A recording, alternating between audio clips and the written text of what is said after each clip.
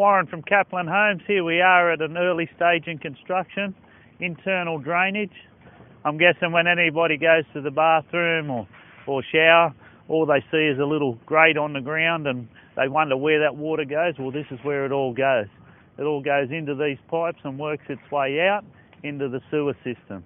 So you come in here, we've dug it down nice and deep so it's under the slab and all these pipes will then come up through the slab. They'll pick up things like your toilet, your shower, your vanity, your laundry tub, and it'll take all the water out under the house and into the sewer system.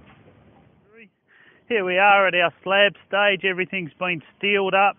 We're just looking again at our penetrations here, our plumbing penetrations.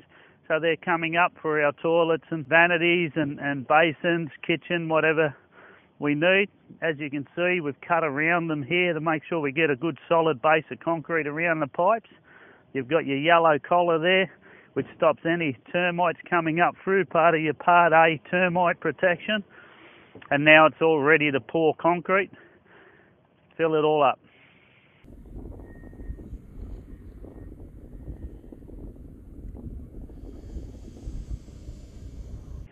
So here you can see these drainage points coming up through the slab, the ones that we looked at earlier as the raw pipes. Now they've been put in place and this is what they are. You've got your shower here, your floor waste and your toilet point.